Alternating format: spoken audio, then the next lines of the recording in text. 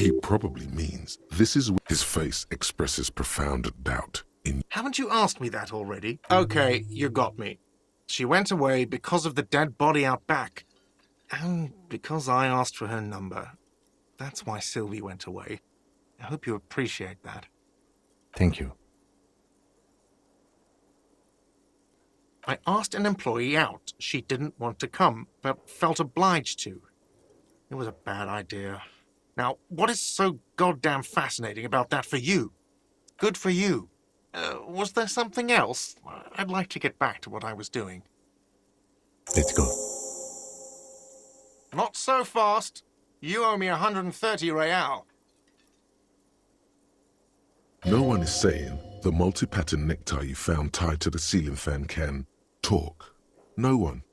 It must be merely imagination. But Let's bail! Time to push the eject button! Sounds like a responsibility! You don't like those!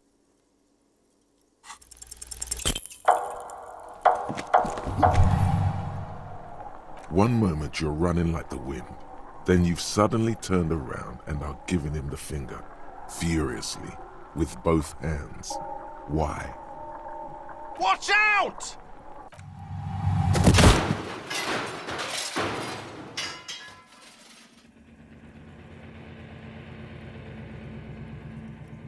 Everything goes dark.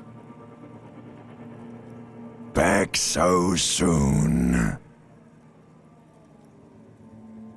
Admit it, you just missed the quarter light, the darkness on the edge of town.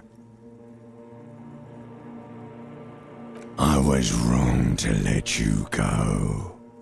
I should have kept you here. Is it bright where you are? Is it terrifying? Have you felt the love? That is too bad. We all need a little love. Are you okay?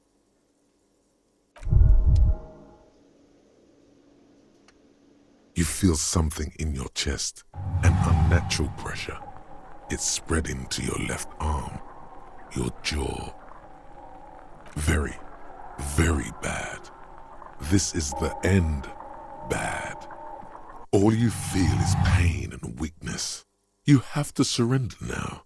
We all do. It gets so dark. You don't even see her face, like you always thought you would.